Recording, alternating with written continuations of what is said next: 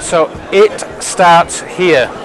So any technical layering system, when you're doing any particular sport, you can have the best outer jacket in the world with the most breathable waterproof fabric. You can have really technical insulation, but it's all important next to the skin. The first layer of, of your dress is the most important layer when you, when, when you layer, okay? So for this season, we have a new fabric. We have merino wool sourced from Patagonia in Chile. Okay, so it's Patagonia from Patagonia. Okay, so we're working closely with um, the farms there to give us the best merino wool base layer on the market. So on, our, on all our merino base layer, we've introduced this little thumb loop here.